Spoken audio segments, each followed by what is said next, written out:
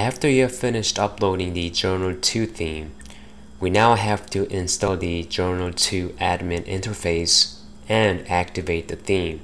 So let's go ahead and install the admin interface. To do that, let's go to the extensions, modules, and next to the Journal 2, click install. Now we have to activate the Journal 2 theme. In order to do that, let's go to the system, settings, click edit next to the, your store, and then click the store tab. And next to the template, it says your default. Change that to Journal 2. And let's go ahead and save. Let's look at the storefront now. As you can see, um, it looks much different from the default layout. And next thing we have to do is set up the menu system, which will create the both header and then the footer. And we'll be doing that inside the Journal 2 dashboard. Go to the back end, and as you can see at the top now, we have Journal 2 here. Click on that, and now we're inside the Journal dashboard. So everything pretty much happens in here.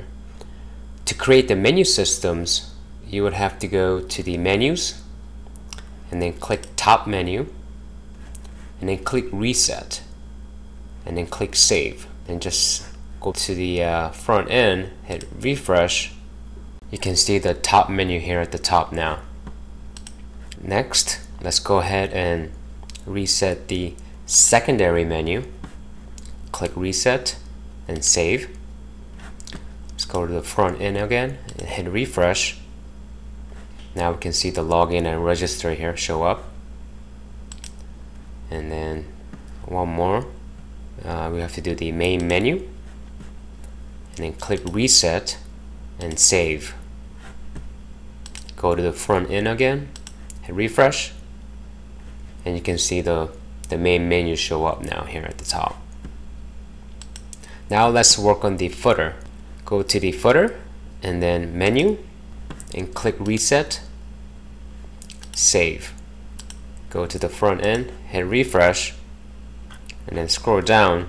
You can see the information show up here at the bottom. Now that we have finished setting up the menu systems, we can go ahead and uninstall or disable some of the OpenCart modules because we'll be doing all of those inside the Journal 2 dashboard with much more control. So let's go to the back end, go to the extensions, modules.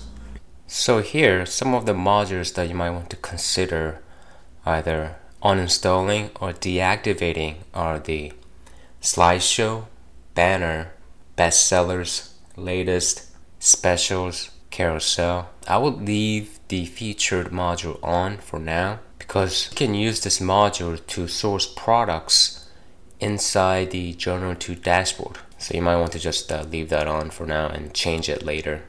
And that pretty much completes the installation and the menu system setup. I hope you guys found this video helpful. Please subscribe to my YouTube channel and like this video. And if you have any questions, please leave me a comment. And I'll see you guys next time. Take care.